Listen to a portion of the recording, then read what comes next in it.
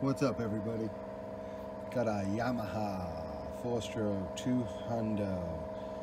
believe these are 2002s. Got to do thermostats. Um, a lot of guys are always wondering where's the thermostats on these engines? Yamaha was not very nice when they designed this, at least the engineers.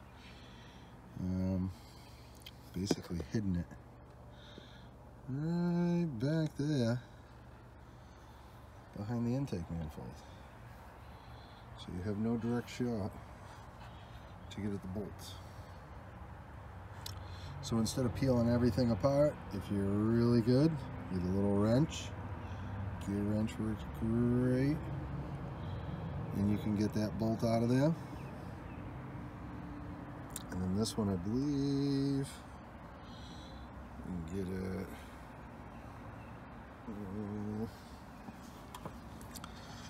I think if we take this bracket off that holds the hose right in front of that, then we'll have a straight shot at that one. So yeah, these are um, these are a pain in the butt.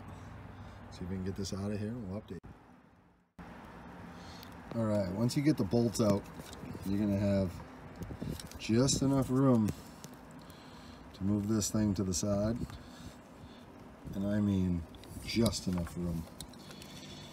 You have to move a couple hoses. Um, if you slide this to the side, you can see. Just, I can't do it holding the camera at the same time. Um, as soon as I get that off to the side enough, I can get that thermostat out of there, slide the new one in. Um, these have no gaskets. The gasket's built right onto the thermostat. I don't want to say no gasket, but I'll show you on the new one. You can see it's got the rubber on there.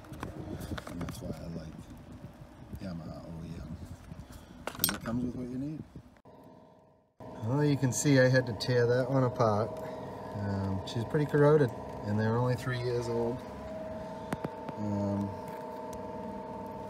get in here.